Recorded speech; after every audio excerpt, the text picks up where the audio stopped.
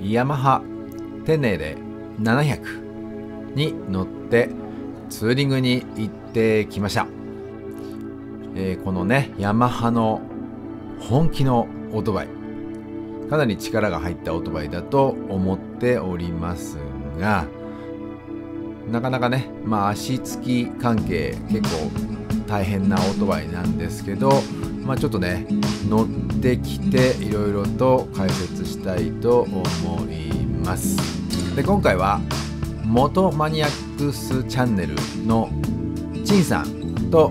一緒に走ってきました、えー XSR700 とか MT-07 と同じエンジンをベースに、まあ、デチューンしたエンジンと聞いてます。楽しいエンジンですねすごくね。まあパラレルツインの 688cc かな？なんですけど、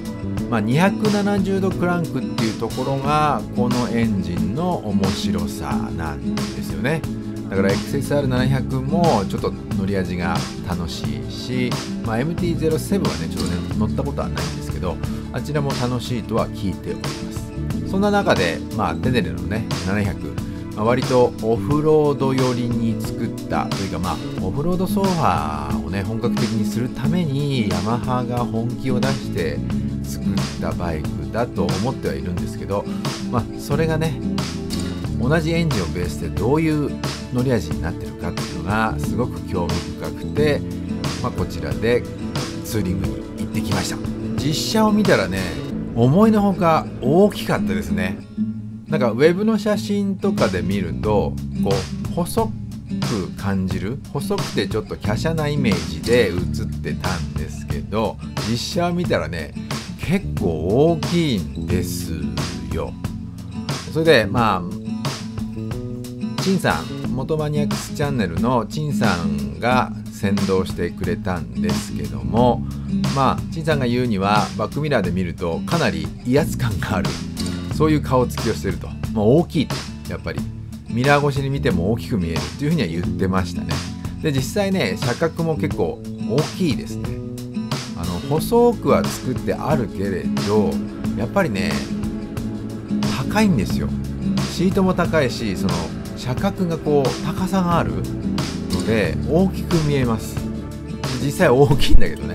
まあ、やっぱりね陳さんが言ったみたいにこの顔つきが独特でしょ？このヘッドライトが。これがねなんだろう。後ろに疲れると結構威圧感がある顔みたいで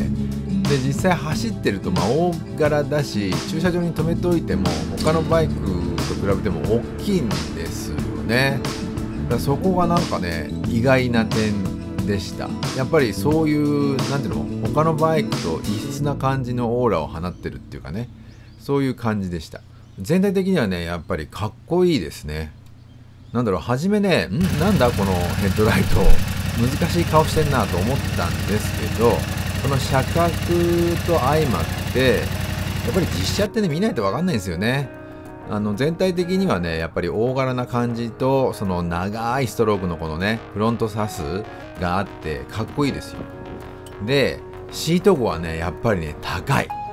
これ実はレンタルバイクなのでシートはねローシートになってます。えーシート高で言うと835ぐらいにはなってます。それでも、まあ、自分身長174センチですけどつま先、えー足の親指の付け根がギリギリつくぐらいです。だ結構大変でした。だこれノーマルシートだったらちょっと足ツンツンだったと思いますね。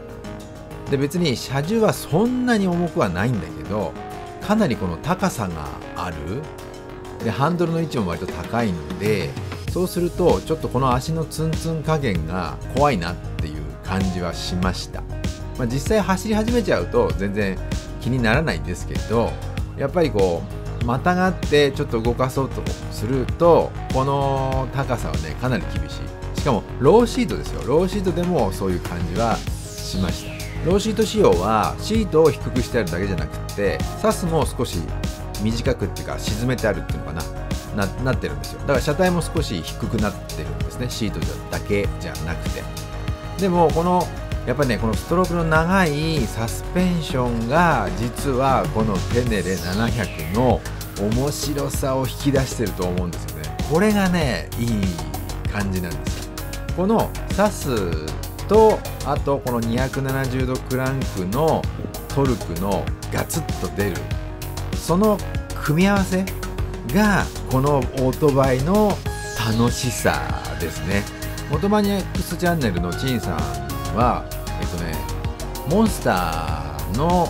まあ、歴史というか流れというか系譜みたいな解説をしてる動画で知ったんですよ。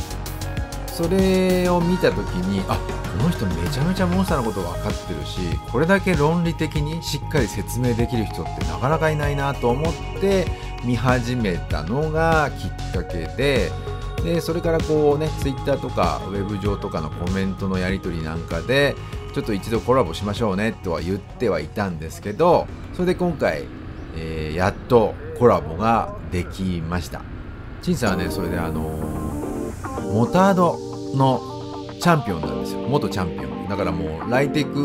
もねもう実戦から来ているものなんでやっぱりこう説明もね論理的なのもあるしすごく納得できる説明をしてくれるんで、まあ、自分はねサーキットは走ってないんでそういう説明の仕方はちょっとできないんですよ。知識もないし。だからそこはねすごくあの陳さんの説明は勉強になる。でまあ今回もねあのわざわざ先導していただいたりしていろんなことお世話になったんですよ。もうほんと陳さんありがとうございます。テレネの話に戻りますけどもテレネ700はフロントが21インチでリアが18インチかな。ちょっとそこがね、まあ、普段ね乗ってるオートバイはほぼほぼ17インチのものが多いのでで前に乗ったトライアンフのタイガー900 GT もフロントは19インチでした。でこのテネ700はフロント21インチですからね。かなりオフロードに意識を持って作ってる車体構成だと思います。で実際にやっぱりね直進安定性がいいですよね。でいいんだけどその直進安定性も重くないんですよ。しっかりしてるんだけど重くはない感じ。そこがちょっと不思議ななんだろうヤマハマジックなのかな。感じはしました。一番の懸念材料はやっぱりコーナリング時においてのその21インチという大きいねサイズのフロントタイヤ。でコーナーのバンクがもたつくんじゃないかっていうイメージがやっぱりありましたね。で結論から言うと全くない。これがねすごいなと思ったんですよね。これだけ大きいインチのタイヤなのにコーナースッと入っていけるんですよ。これあのトライアンフのタイガの900の19インチの時はちょっともたついたんですよ、まあ、慣れればねその辺分かってバンって見るんできるこのテネレ700はその感覚でスッと倒した時にあ意外とスッといくなと。ただコーナーの奥の方でちょっとまたもたついて曲がりきれなくなるかなと思ったらそこでサスがねスクッと。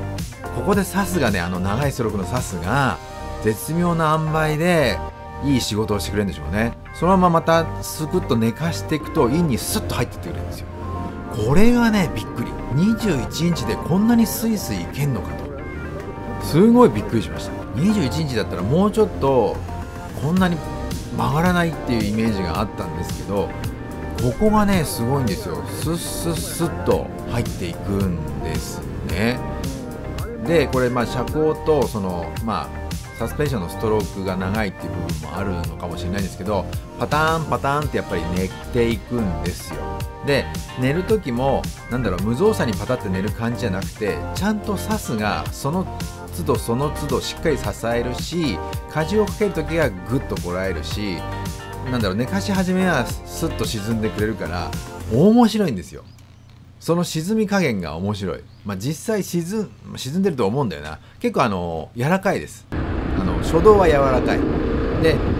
一番しっかりしたところは多分ちょっと粘ってくれると思うんですけどその辺もやっぱりオフロードをちゃんと意識した作りだと思うんですよ。ある程度のゴツゴツしたギャップはしっかり吸収してくれるように初動は柔らかくなってます。それとこの270度クランクのアクセルを開けた時にガツってくるトルクが相まってそのガツッときた時にスッと沈んでまたちょっとして粘る。でトルクをしっかり捕まえる。でバンクの姿勢をアクセルのオンオフでちょっとこうコントロールしながらしながらこう曲がっていけるっていうのがすごい楽しい。これもあの、いろんなね話をねインカムでねあの陳さんと話をしながらちょっと初めてですよ。初めてちょっと話をしながら走ったんですけど楽しいですねこうね喋りながら。ちょっと大体いつも一人でしか走ってないんでこうしかも話の分かる方、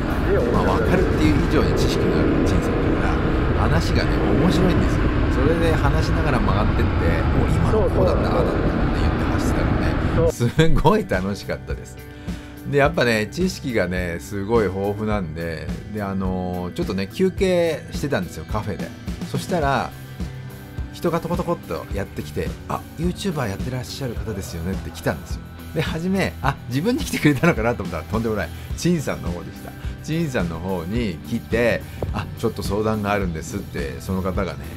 ドゥカティのことでちょっと相談をしてました。でそのそこでもねやっぱり的確ななんだろう知識とアドバイスをしてすごくその方は喜んでまた戻っていきましたけどね。さすがだなと思いました。やっぱりそういう本当のね実践の知識を持ってる人のやっぱりなんだろう。違いますよね。あの説得する内容がだってしっかりしてるから。でも専門的な、ね、用語もちゃんと知ってるしその理屈をね理論をこうちゃんと組み立てて喋ってるんで、まあ、自分みたいにこの体感だけ喋ってるのと違うから もうすごく説得力があるっていうかすごいさすがだなと思いました。ああ結構あれだなまだコーナリングの話しかしてないですね。ちょこっとしかね。これ長くなるんでちょっと後編も作ります。ちょっと長くなりそうなんで。ちょっとこれまたテネレの市場まだまだちょっと喋りたいことたくさんあるんでちょっと次回にちょっとつなげますね。これねテネレねいいですよ。初めちょっとどうなんだろう。オフ車っぽいからなと思ったんですけど面白いですこのバイク。